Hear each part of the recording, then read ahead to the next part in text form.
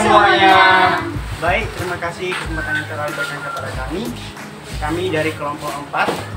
Pada kesempatan kali ini kami akan membuat kerajinan tangan dengan memanfaatkan bahan-bahan yang sudah tidak digunakan lagi.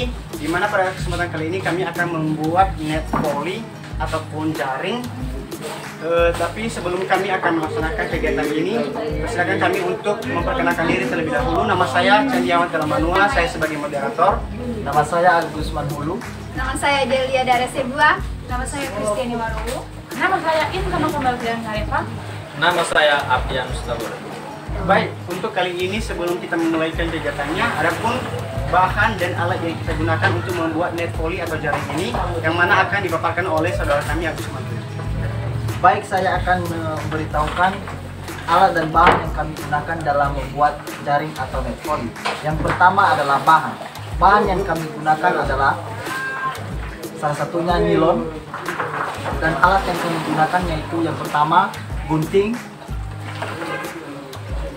yang kedua alat pengukur, dan yang ketiga adalah jarum untuk menjahit jaring. Demikian saja alat dan bahan yang kami gunakan. Terima kasih. Baik, demikian tadi penjelasan mengenai bahan dan alat yang digunakan untuk melaksanakan pembuatan net volley ini. Dan untuk membuatnya, mari terus. Baik, langkah pertama yang kita lakukan adalah melilit nilon ke dalam jarum. Langkahnya yaitu seperti ini.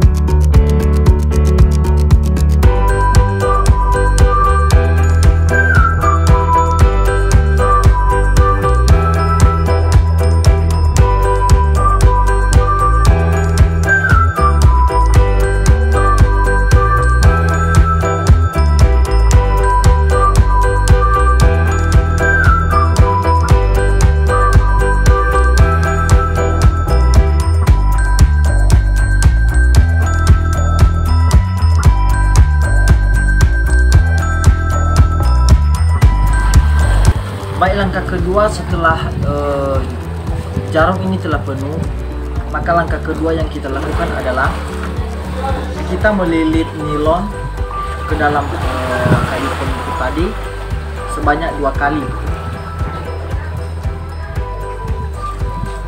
Setelah itu kita ikat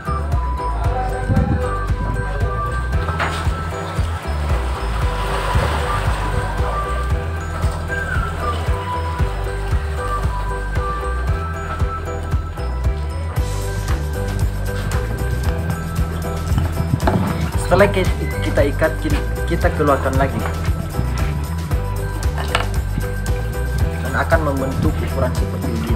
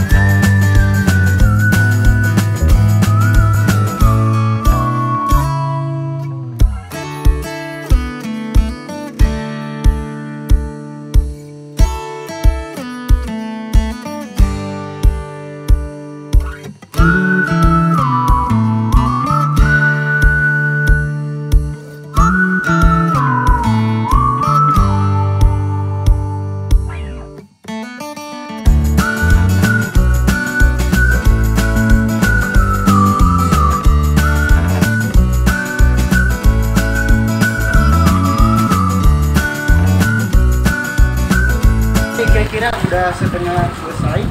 Jadi nanti akan kita lanjutkan lagi pada tahap selanjutnya sampai kita menyelesaikannya sampai memasang nilon lagi di bawah dan di atas. Dan inilah hasil akhirnya dari pembuatan eh, net poly atau jaring yang memanfaatkan nilon sebagai bahan dasarnya dan inilah dia hasilnya. Terima kasih. Bye bye. Bye.